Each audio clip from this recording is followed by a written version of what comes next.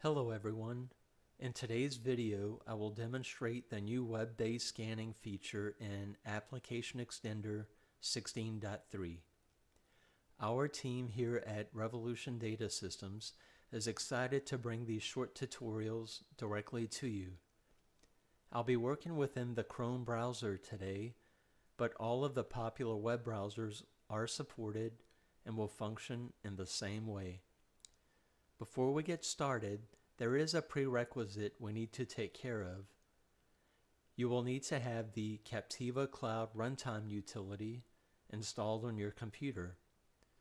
If your scanner is less than two or three years old, there's a good chance that this utility is an option on your installation disk.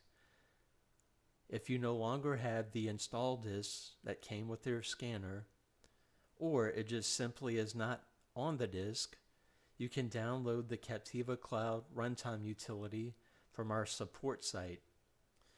Go to www.revolutiondatasystems.com, scroll to the bottom of the page, and click on the technical support link. A new tab will open up. Go to our knowledge base link, and under the How To section, you will see the Captiva Cloud Runtime Downloads link. Click that and install the latest version. So I will click this to initiate the download and we'll save it on our computer. Once the download is complete,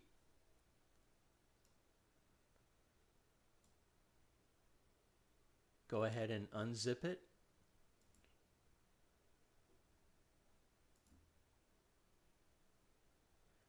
install the proper version for your operating system. So I'm on a Windows 10 computer.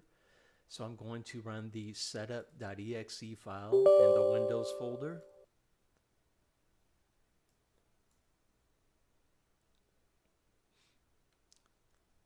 The install is pretty straightforward. Click on the Next button. Accept the licensing terms. Click on Next you can leave the disable remote access uh, option enabled. Click next and install. So that's all there is to getting the utility on your system. So once we've taken care of that,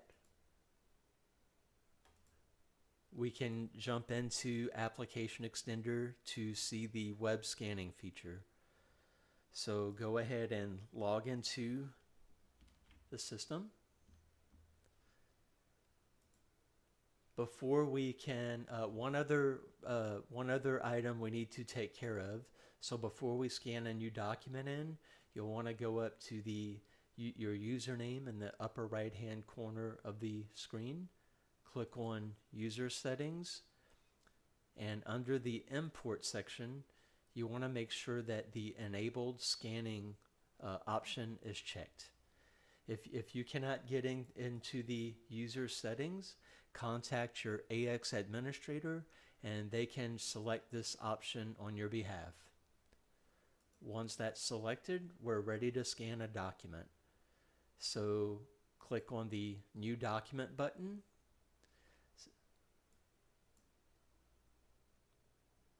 Okay.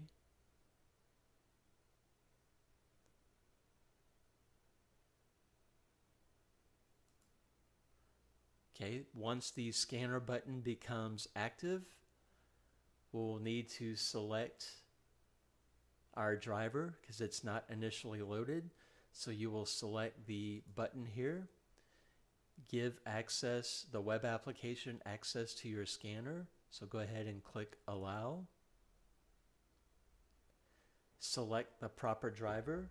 I have a Fujitsu FI5110C on my desktop. So I will select the recommended ISIS driver and click on OK.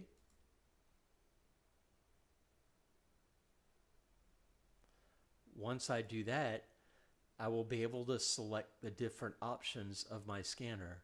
So from the shortcut menu here, I can select black and white, grayscale or color, I could select the automatic document feeder mode in uh, simplex or duplex, select my page size and resolution, or I can click on the gears and go into uh, more advanced features of my scanner. So I'm going to leave the default set to black and white, letter 300 dots per inch. I'm going to put a piece of paper in the feeder of my scanner and click on the scan button. So the scanner is scanning right now.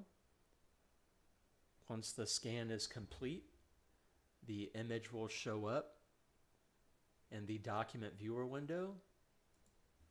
So then we index our document as normal.